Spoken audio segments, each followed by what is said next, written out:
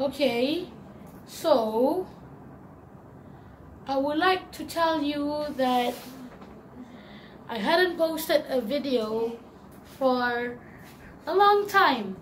So we're going to be reviewing two things just to say because I'm sorry. The first thing is a mouse. This mouse is not wireless but this is cool. I've tested this out on my computer if it can stop having a seizure, it'll be worth the crap. Seriously, it's like blinking on and off and...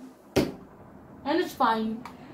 And it's blinking again and it and it's fine and... Okay, it's fine. That thing happens. I don't know why. Uh, tell me in the comments if you guys doesn't do know. Has doing problem again. Okay, so... This mouse is comfortable because as you can see, these two buttons are convenient for gaming. As you don't know, you would hold a mouse like this, having your posable thumb on this button.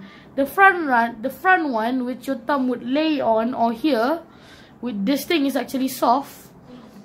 This would be the left button, which means pressing here is just like pressing here. See, pressing this button and pressing this front button will do the same effect.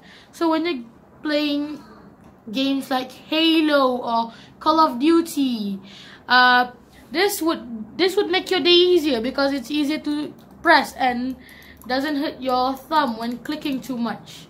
So yeah, the sensor on this is amazing. Like if you turn up the the sensitivity what do you call that thing? Sensitivity? Sensor, sensitivity, sensitivity. When you roll, when you just, when when you just barely push this thing, you would turn 90 degrees in the game. That's amazing for this thing, the, the, the sensor in this thing, amazing. Five stars. And this would also register, uh, pressing on this would also register as pressing here and pressing this front button here. And what's best about this is that you can keep one, two, you can keep one, two, like that.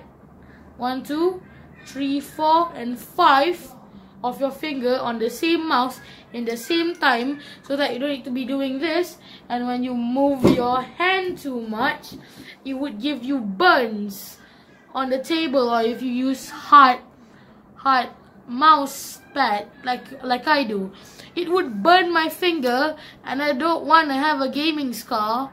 It's like having a scar and doesn't have an epic story to tell. So that's the, this is the first product and I actually like this and I'm going to use this in further gaming. Again, I still don't have any recommendations on how to do a gaming video. I'm sorry, I really want to do a gaming video and give it and make it into a new channel, My Gaming.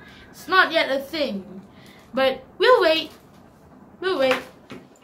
So, the next thing is going to blow your mind. It's it's not a USB. It's a Logitech camera. Is it? No, it's upside down. It's a Logitech camera. Okay?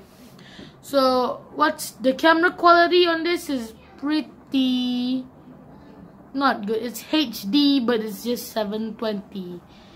But this is nice. I'm not going to do this on, I'm not going to stream with this because this is not a good camera but I would actually use this for Twitch, you know, Skype, things that would actually use this and would appreciate this kind of things. So, okay, okay. Thing, thing being, I just need some help in YouTube and stuff. So if you guys can drop a like, subscribe, I would appreciate that. Anyway, this is me, Kawashi, from my review. I'll see you in the next video. Could be tomorrow, could be next week, could be next one, could be next month. And if I'm quitting, I'll make a final epic video on that. Thank you. Goodbye.